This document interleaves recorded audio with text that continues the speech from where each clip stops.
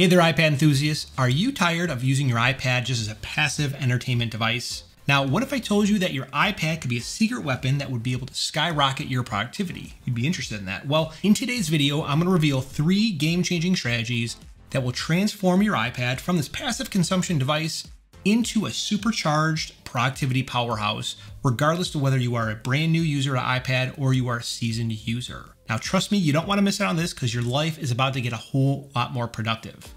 Hit that like button, subscribe, and let's dive right in. Hello, friends. My name is Mike Caputo, and today we're talking about productivity through the lens of the iPad. Now, it doesn't really matter what iPad you have. It can be an iPad Air, iPad Pro, iPad Mini, even the basic iPad. It's all going to be the same here. Now, the iPad is the perfect tool for productivity because the device has become a vital part of our everyday lives. They help us stay connected to our friends and family with FaceTime, they help us manage our busy schedules with calendars and reminders, and quickly perform various numbers of tasks. Now, if you always wanted to be productive, it can really be overwhelming knowing where to start. So in today's video, I have three strategies that will help you get organized with your iPad. We're gonna talk about optimizing your iPad with the right accessories, mastering multitasking features, and harnessing the power, power of productivity apps. I'll sprinkle in some practical tips along the way that you can implement right after watching this video to get you going. Now, first and foremost, let's talk about optimizing your iPad with the right setup. Now, when it comes to maximizing your productivity with the iPad, the very first step is to ensure that you have the right setup. This involves selecting the appropriate model iPad that caters to your needs and really picking out the accessories that are going to enhance your iPad and your iPad experience. Choosing the right iPad model depends on many factors, including what your budget is, what tasks you want to accomplish, and as well as what kind of work you'll be performing, including your personal preferences. Now, for instance, if you're an artist or maybe a graphic designer, you might want to consider the 12.9 inch iPad Pro because the big canvas, the fast refresh rate. On the other hand, if you're a student or maybe even a professional, you might want something a little bit more portable and maybe a lot more affordable than the 12.9 inch iPad. And you might consider the iPad Air 5 or maybe even the iPad Mini, which is my personal favorite. Once you've chosen the perfect iPad, it is time to accessorize. Accessories can significantly improve your productivity while providing additional functionality and convenience to the device. Keyboard case, for example, can take your device from this large slab of glass into a laptop-like device, enabling you to type faster and more comfortably with even higher accuracy than you can get with the on-screen keyboard.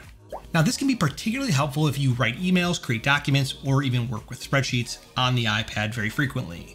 The Apple Pencil is another fantastic accessory, especially for those who prefer note taking using handwritten notes, or if you're someone who enjoys sketching and drawing. Additionally, today's sponsor, Paperlike, offers screen protectors for your iPad that really improve the writing experience, gives you greater precision and control over your content that you're creating with your Apple Pencil, and really cuts down on the glare uh, that you would have on your iPad if you were maybe consuming content. Lastly, organizing your apps is crucial for a seamless and productive iPad experience.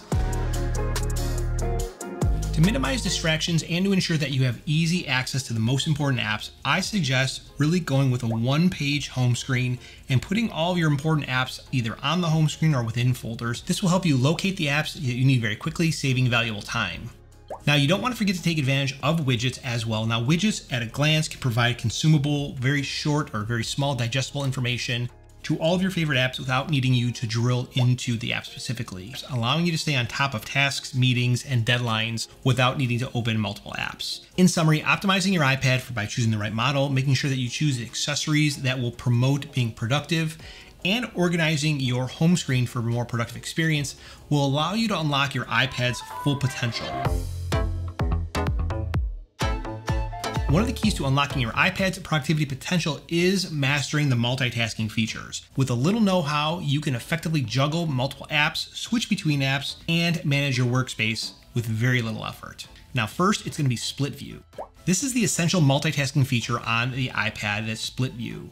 This is going to allow you to open up two apps side by side. Now, I think this is an incredibly useful feature when working on a project that maybe requires referencing multiple documents, or when you need to drag and drop content between apps. So if I want to go ahead and open up Notion, I'm going to go ahead and swipe up on the dock.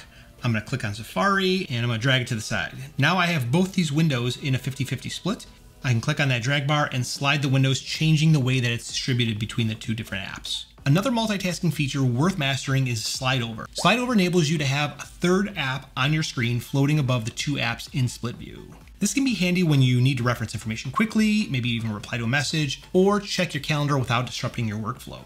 Now to use slide over, follow the same steps that we actually followed. So we have the two apps open, we have Notion on the left, we have Safari on the right. But instead of dropping the app on the side of the screen, drop it to the center of the screen. So let's just say I want to go ahead and open up, click on shortcuts, and now I have shortcuts in slide over.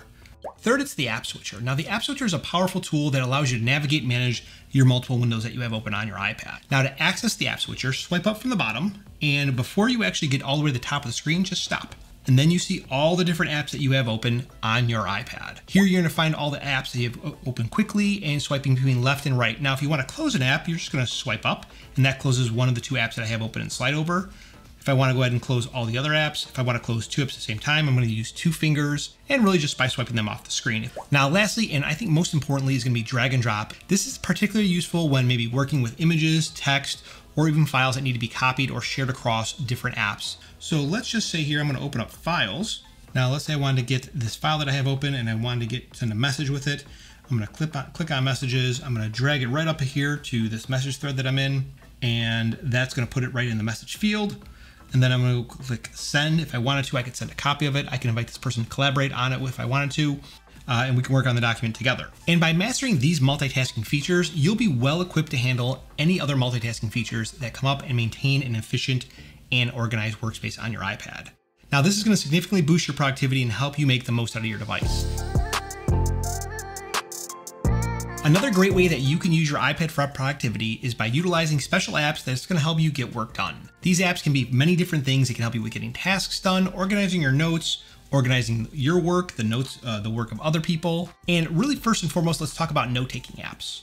Apps like Notability, GoodNotes, and even Apple Notes are perfect for writing down thoughts, ideas, or getting information out of your head onto a piece of paper, so to speak. These apps make it easy to find and organize your notes so you don't lose track of important information.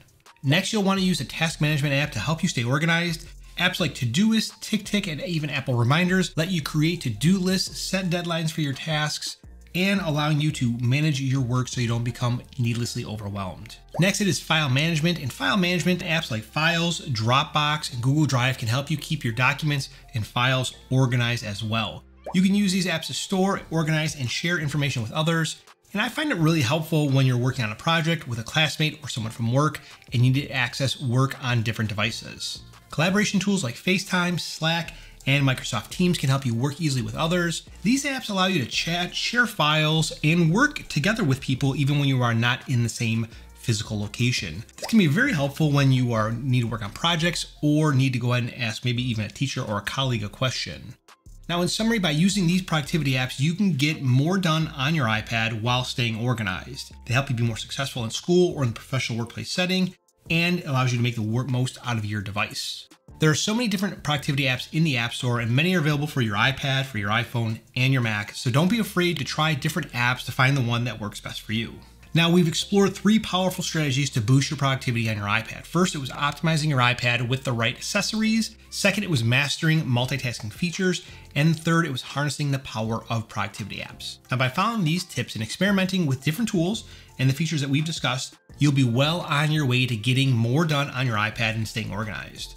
Now remember, practice makes progress, not perfect, makes progress, so do not be afraid to try new things and methods to find out whatever works best for you. As always, you can continue to explore your iPad's capabilities. You'll discover more ways that your iPad, you can improve your iPad's productivity and make the most out of this device. It's, it's really great. Thank you for joining me on this journey to productivity. If you found this video helpful, please consider giving it a thumbs up. Maybe share it with your friend or family member that might find value in it and subscribe to the channel if you want more awesome content. Feel free to leave a comment below with any questions or suggestions for future videos. Until next time, friends, happy iPad.